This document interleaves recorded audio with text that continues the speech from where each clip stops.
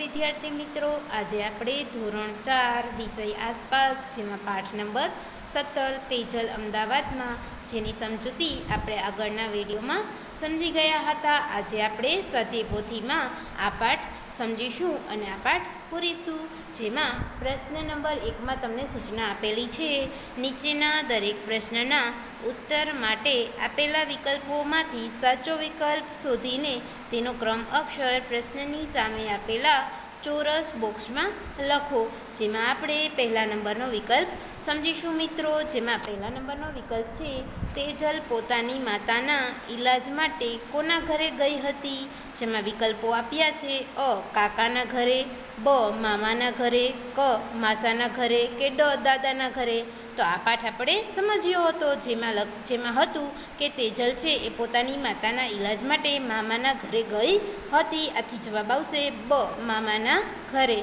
ત્યાર પછી હવે આપણે બીજા નંબરનો વિકલ્પ સમજીશું, જેમાં લખેલું છે, તે જલે તેના ગામથી અમદાવાદ સુધી કયા વાહનમાં મુસાફરી કરી હતી? જેમાં વિકલ્પો આપેલા છે, અ, બસમાં, બ, કારમાં, ક, ટ્રેનમાં કે ડ રિક્ષામાં? તો મિત્રો, એમાં જવાબ આવશે ક, એટલે કે ટ્રેનમાં. ત્યાર પછી ત્રીજા નંબરનો વિકલ્પ કે જેમાં લખેલું છે મામાના ઘરે પાણી ભરવા માટે ઋત્વા અને તેજલ ક્યાં જતા હતા?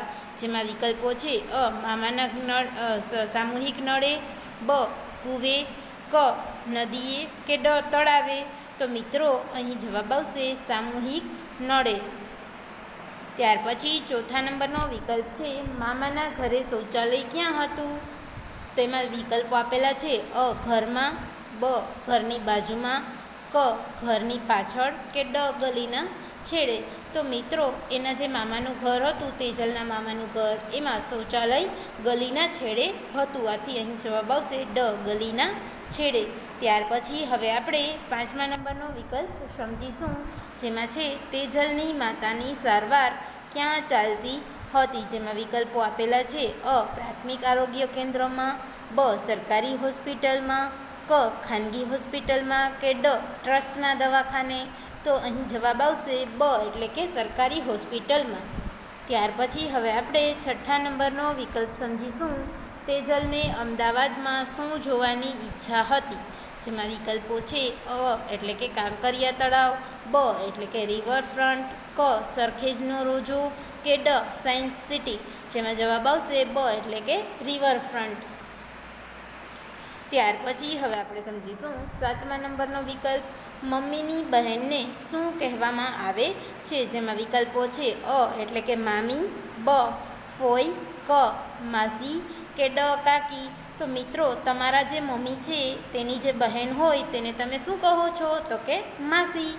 આથી જવાબ આવશે અહીં ક, એટલે કે માસી. ત્યાર પછી હવે આપણે પ્રશ્ન નંબર બે, જેમાં સૂચના આપેલી છે, યોગ્ય શબ્દો વડે નીચેના દરેક વિધાનમાં ખાલી જગ્યા પૂરો. તે આજે આપણે સમજીશું. જેમાં પહેલા નંબરની ખાલી જગ્યા છે તેજલ તેની માતાના ઈલાજ માટે ખાલી જગ્યા શહેરમાં આવી હતી જેમાં જવાબ આવશે અમદાવાદ. ત્યાર પછી બીજા નંબરની ખાલી જગ્યા. રેલવે સ્ટેશન પર તેજલ અને તેની માતાને લેવા માટે ખાલી જગ્યા આવ્યા હતા, જેમાં જવાબ આવશે, મામા એન્ડ રેલવે સ્ટેશન પર જ્યારે તેજલ અને તેની માતા ઉતર્યા હતા, ત્યારે તેના મામા છે, તેજલના મામા, તે બંનેને લેવા આવ્યા હતા. ત્યાર પછી ત્રીજા નંબરની ખાલી જગ્યા, ગામમાં તેજલને ઉનાળામાં પાણી ભરવા ખાલી જગ્યાએ જવું પડતું હતું, જ્યાં જવાબ આવશે, નદી.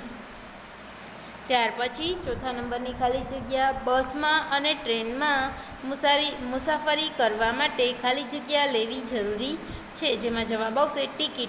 મિત્રો, તમે બસમાં અને ટ્રેનમાં મુસાફરી કરેલી જ હશે. તો બસમાં અને ટ્રેનમાં જ્યારે તમે મુસાફરી કરવા જાઓ છો, ત્યારે તમારે શું લેવાનું હોય છે? તો કે ટિકિટ લેવાની હોય છે. ત્યાર પછી પાંચમા નંબરની ખાલી જગ્યા. તેજલની માતાના માતા સગપણમાં તેના ખાલી જગ્યા કહેવાય. તો એમાં જવાબ આવશે નાની. ત્યાર પછી છઠ્ઠા નંબરની ખાલી જગ્યા. મામાના પત્ની મામી કહેવાય તો કાકાના પત્ની ખાલી જગ્યા કહેવાય. તો કે જવાબ આવશે કાકી. કારણ કે કાકાના જે પત્ની હોય એને આપણે કાકી કહીશું. ત્યાર પછી હવે આપણે પ્રશ્ન નંબર ત્રણ સમજીશું, જેમાં લખેલું છે, નીચેના વિધાનોમાંથી સાચા વિધાનો સામે રાઈટ અને ખોટા વિધાનોની સામે રોંગની નિશાની કરો.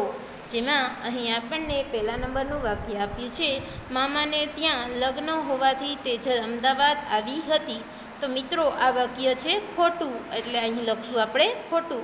પરંતુ મામાને ત્યાં લગ્ન હોવાથી નહીં, પરંતુ તેજલ છે તેની માતાનો ઈલાજ ચાલતો હતો, તે બીમાર હતી, આથી તેજલ અમદાવાદ આવી હતી. ત્યાર પછી હવે આપણે બીજા નંબરનું વાક્ય સમજીશું. તેજલના મામી સફાઈ કામ કરવા હર્ષના ઘરે જતા હતા. તો એમાં સાચું આવશે. ત્યાર પછી હવે આપણે પેજ નંબર તેત્રીસ ઉપર નો ત્રીજા નંબરનું વાક્ય સમજીશું. મામી અને હર્ષના ઘરે મામી અને તેજલ હર્ષના ઘરે લિફ્ટમાં ગયા હતા, જેમાં જવાબ આવશે સાચું. ત્યાર પછી હવે આપણે સમજીશું ચોથા નંબરનું વાક્ય.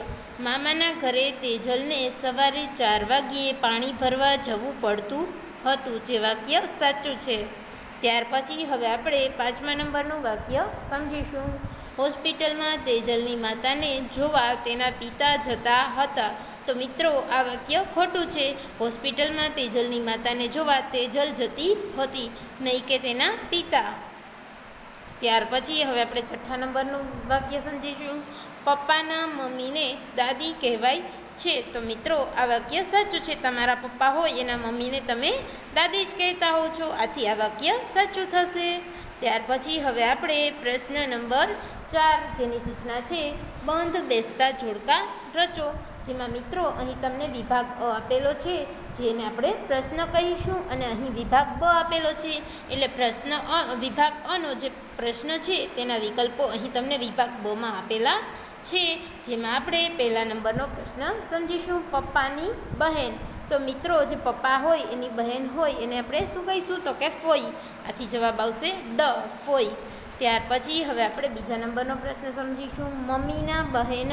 તો મમ્મી હોય, એની બહેન હોય, એને આપણે શું કહીએ? તો કે માસી. આથી જવાબ આવશે ઈ, માસી.